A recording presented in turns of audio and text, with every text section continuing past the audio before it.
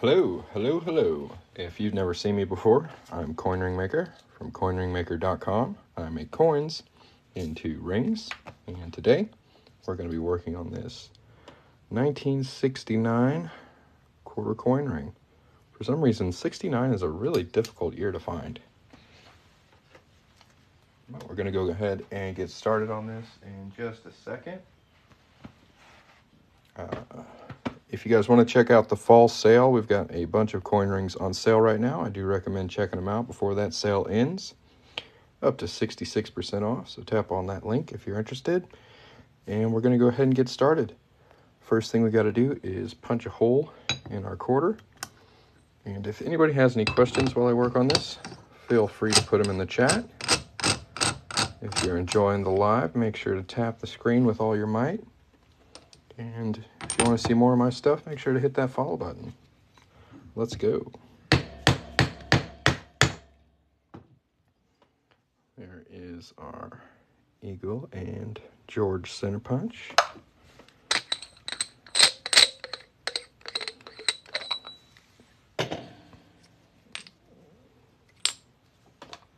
And we got it our arm punch now. We're going to knock that off.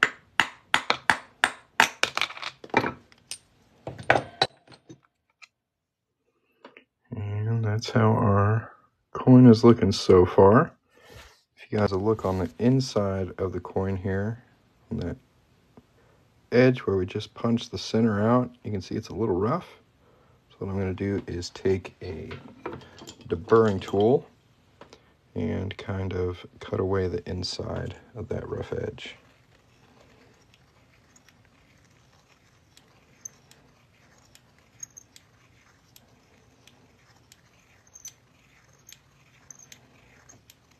Just smooth it out.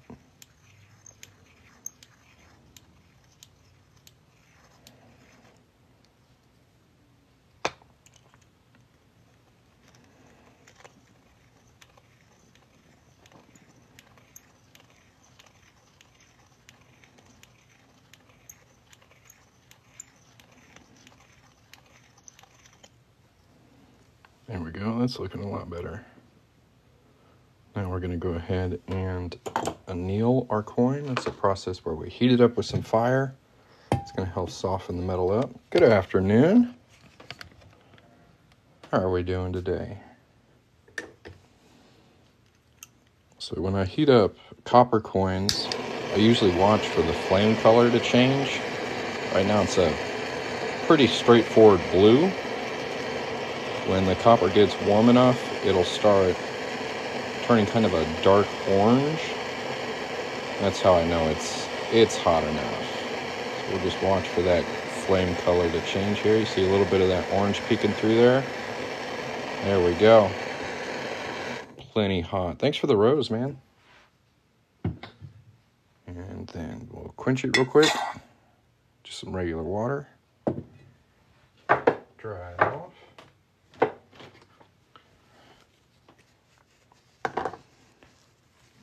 Take another look at it. It's looking pretty good. The next step is going to start, uh, we're going to start folding it. And before I do that, I'm just going to do a little promo.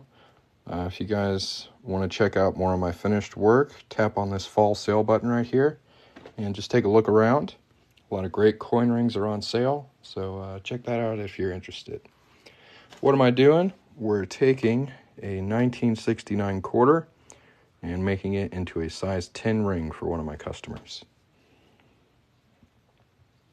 Oh yeah, these this thing is going to give you a perfect hole every time as long as you make sure it's tightened all the way. It's it's a great investment for any coin ring maker who plans on doing this for more than 2 weeks. Jason makes some damn good tools. Here we've got a doming block. We'll pop our quarter on there and give it a nice fold. This is a Delrin ball, so it's really hard plastic. That'll help us get our first fold there. And here's how it's looking so far. Thanks for the rose. We'll go to my favorite die.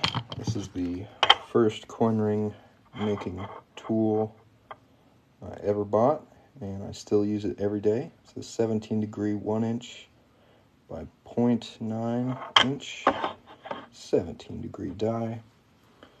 It's absolutely fantastic. Legacy brand tools. Makes good tools too. We'll pop our cone on top of there give it another fold. And these early Washington quarters do tend to get a little wavy once we start stretching them out, so I am going to keep an eye on that. It usually happens around the date, so as I stretch this, if I see any weird waviness, uh, we may have to correct that. We're going to hop up here to the ring stretcher. That's this bad boy. Thanks for following, Jasper. If anybody else wants to, hit that follow button. Hit that cut edge with a little bit of steel wool before we start stretching. And if anybody has any questions, let me know. Uh, if you're looking to get a coin ring, we do have a pretty dang good fall sale going right now. If you want to check that out, I'll go ahead and pin the link down here for anybody who's missed it. Bam, right there.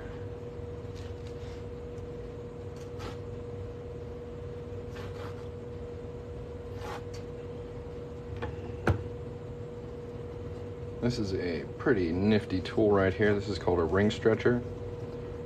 So it's got a bunch of individual splines on each side and when I lift this lever up, this spike right here moves upward and pushes the splines out, which is what stretches the ring.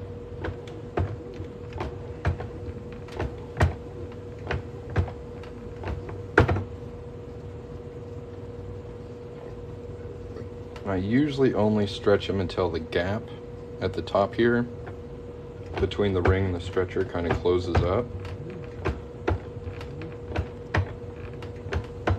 Pretty good right there. Go ahead and check our date. Not getting too wavy. That's good. I'm going to flip it over and stretch it the other way because now there's a gap on this side. And we'll just stretch it until that closes up. And then flip it.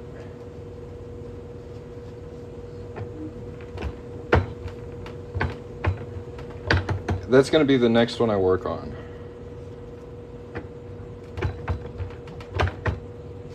as soon as we finish this one, that's what I'm gonna make.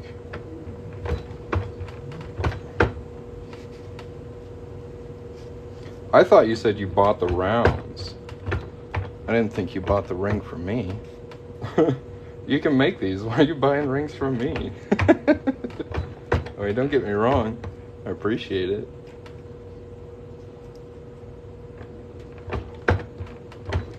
Not everybody's got the tools to do this little, a little silly.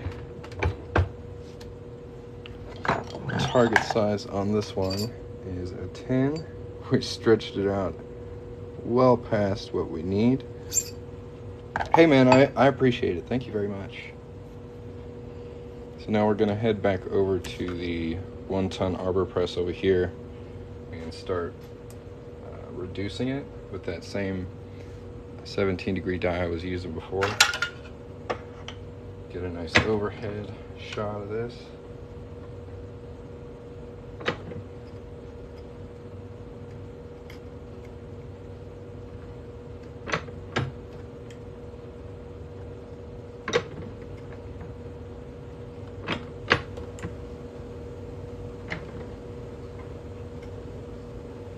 I try not to reshape it too much in any direction it stays kind of even.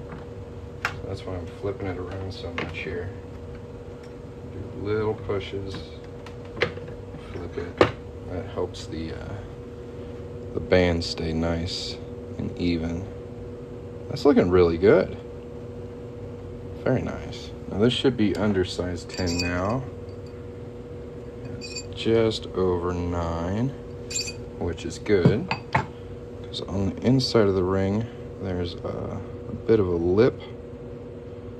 Kind of hard to see it on this light, but there's a little bit of raised metal right on this reeded edge here. So we're going to cut that away, and then we should be pretty dang close to a size 10.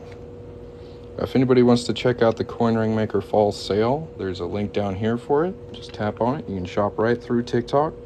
It's pretty cool. And if anybody has any questions, let me know. Thanks for watching, guys. Make sure to tap the screen if you're enjoying the live and hit the follow button if you want to see more coin ring making awesomeness. Yeah.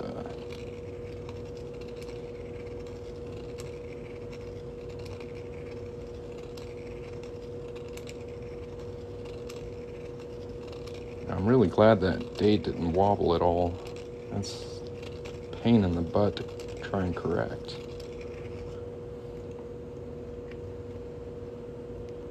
Thanks for following, Jeff.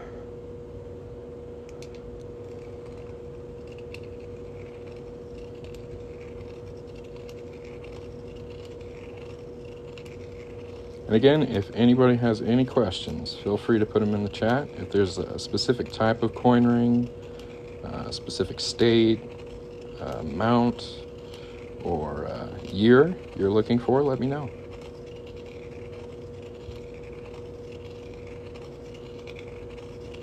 I work on everything, so I'm sure I can find what you're looking for.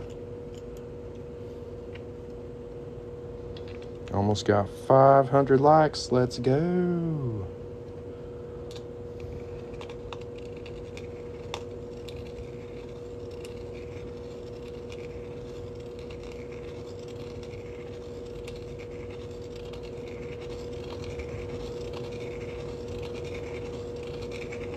I'm gonna go ahead and switch to can I do a quarter ounce gold eagle using the whole coin? So it's bezel mounted? No, but I have uh, made quarter ounce gold eagles into uh, bands like this before, and I do have one on the website right now. Uh, the website is.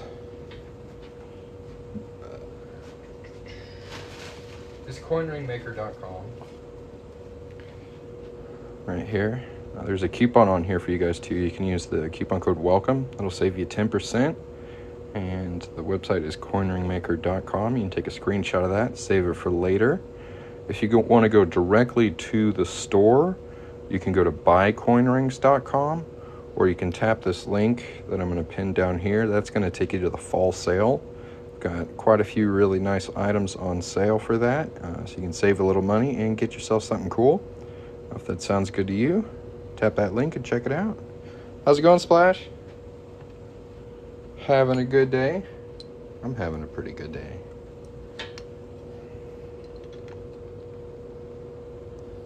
I spent all morning cleaning the house, so I'm pretty proud of myself. It's looking good. We swept, we vacuumed, we did laundry. We did it all.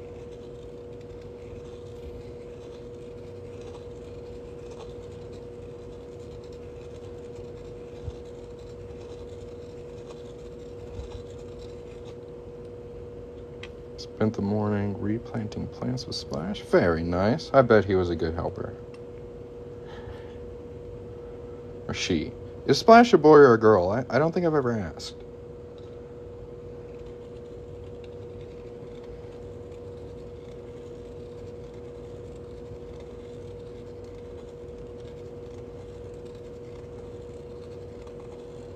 very nice, very nice.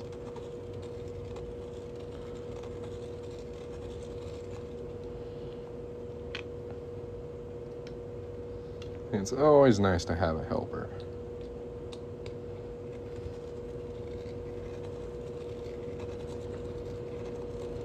This is a 1969 quarter. I think it's the funniest quarter because it has 69 on it.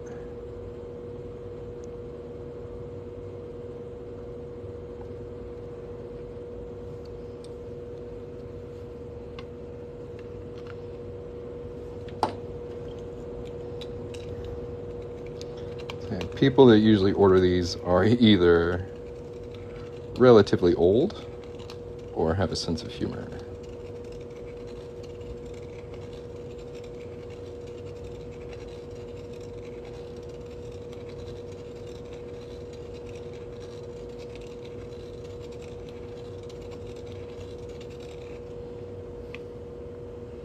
Born in 69. The summer of 69?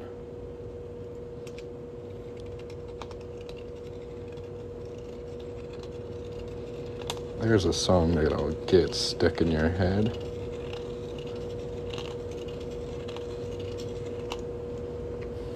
Very nice. Now we've got that edge nicely cleaned up. We'll go ahead and check our size again. Should be pretty close to a 10. Stretch it a little bit. We should get there. I bet you do. Yeah, there's no good songs for the year I was born. There's no songs like The Summer of 88. No. Not a whole lot of songs for 88.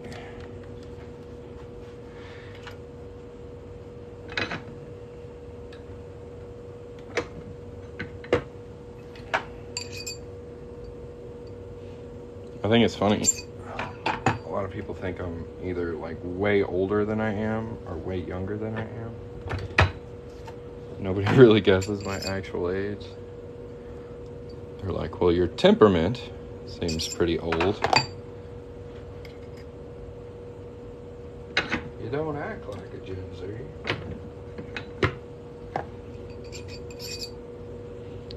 Fresh Prince Summertime.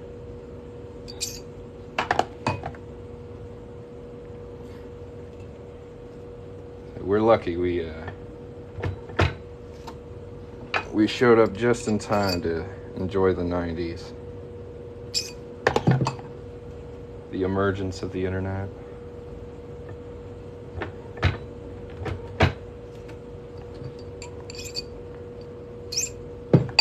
Adult swim after school.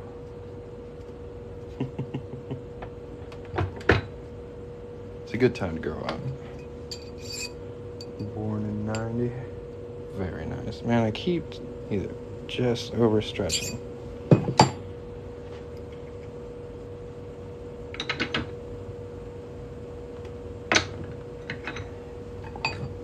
We're gonna get it there. We're gonna get it. It's so close.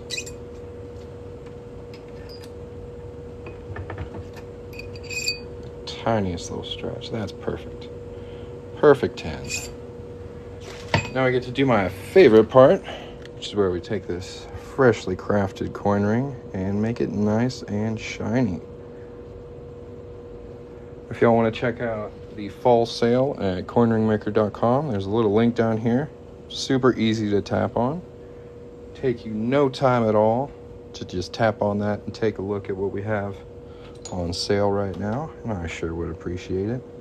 Now we're going to take this 4-0 steel wool and knock off as much of this gray fire scale from the surface of the coin as we can. Now this is steel wool. Steel wool is usually pretty abrasive. Uh, it tends to scratch up the surface of metal, but this is 4-0 steel wool. So it's like the finest steel wool you can get, and it's actually pretty good at removing fire scale. Have you seen any market at all for copper rings? Copper round rings? Um, not, not really. Um, I've had a couple of copper, like one ounce rounds on the website for the past three years, and I've maybe sold two or three of them. Not, they're not very popular. 90% sells a lot better. Like 90% quarters, half dollars, and dollars are probably the most popular things that I make. Uh, the reason I have copper clad coin rings is I just want my rings to be accessible to everybody. And if you can't quite afford uh, silver, I want people to have another option. But as far as like copper rounds, I really haven't worked on one in like eight months. And I usually only make them to take product photos. Like they're not they're not super popular. It's a good question. Now, fine silver uh, does sell pretty well, like quarter ounce and half ounce fine silver rounds. There's a lot of designs for those. I've, I've done pretty good at making sales with those, but like I said, 90% is definitely the most popular because you get the shine of the silver, but you also get like the resilience of the metal 90% silver is a bit stronger than just fine silver. Gloves? Nah.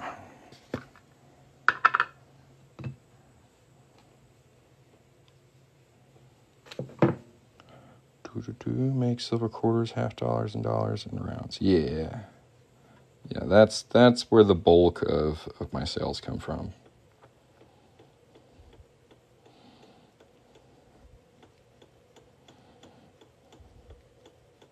Get some polish on here. It's going to help knock the rest of that fire scale off. No, it's um it's super fine steel wool, so it's not very abrasive at all. Like if you get a really good look at it, it's it's not really that bad. Now if I was like just straight rubbing it on my skin, yeah, I could probably irritate it, but my fingers are fine.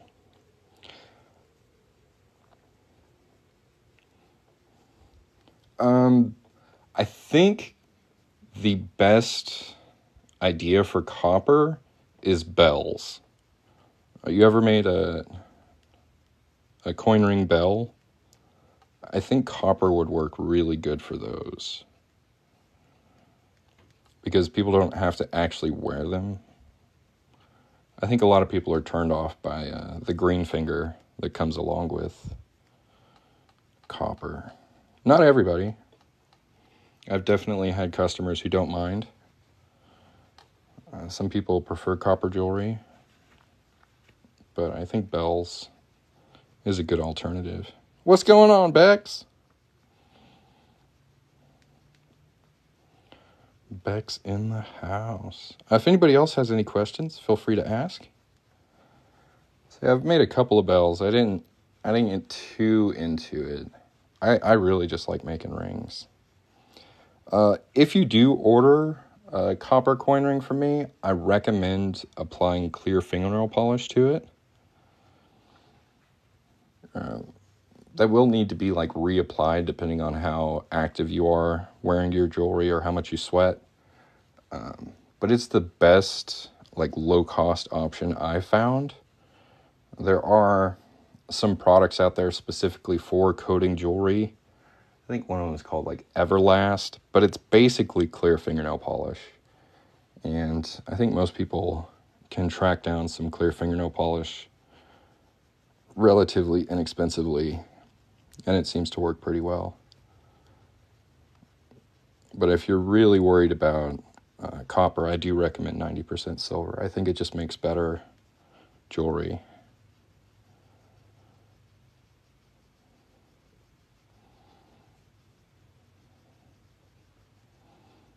Yeah, it works pretty well.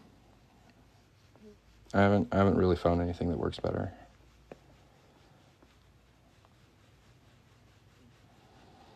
I've seen other coin ring makers uh, powder coat their jewelry, and you can get some like interesting colors with that. But I'm I'm hesitant to use powder coating because like some of them can be not great to wear on your skin. So you, you need to find like jewelry grade powder coating. You got to be really, really careful. And I don't want anybody to like have a bad reaction to my jewelry, have a rash or breakout or have some kind of allergy. So that's why I usually just send uh, my rings out raw and leave it up to the customer on what they want to apply to the surface of it.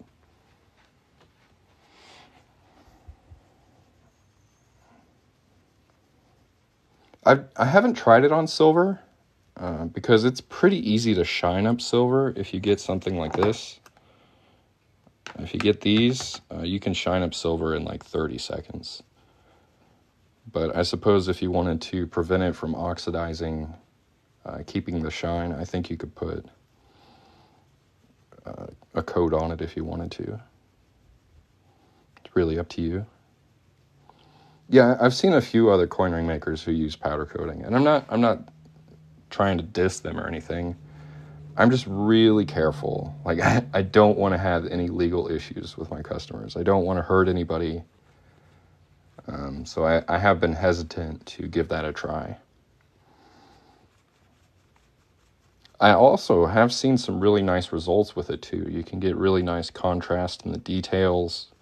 Like I said, there's different color powder coatings. But it's not something I've dived into yet.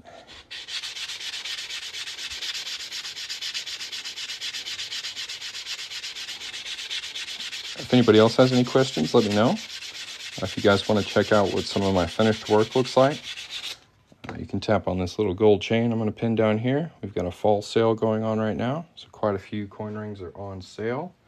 If you're interested in getting one for a bargain, go check it out. This one is about done.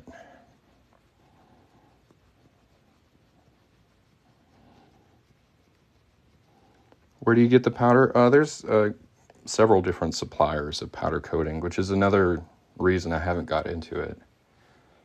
Is I I would really have to track down like the safest powder coat to be worn on skin before I even ordered anything. I'd have to do a lot of research. That looks really good. Very nice. All right, guys, I'm going to take about a five minute break, and then when I get back on here, uh, we're going to be working on my favorite coin ring to make.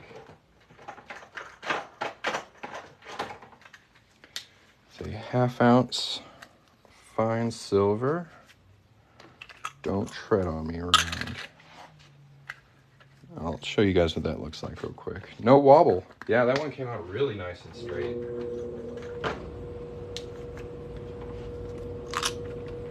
Yeah, this is the coin we're going to be working on in about five minutes. It's a half ounce fine silver round. Makes a super cool ring. I think I've got a finished one over here. The wife snagged it. She's got it. They're so cool, my wife steals them. Uh, so, uh, if you guys want to see me work on this in about five minutes, uh, hit that follow button and you'll get a notification when I go live. If anybody has any questions before I hop off of here, now's the time to ask them. And we'll take another close look at our 69 coin ring.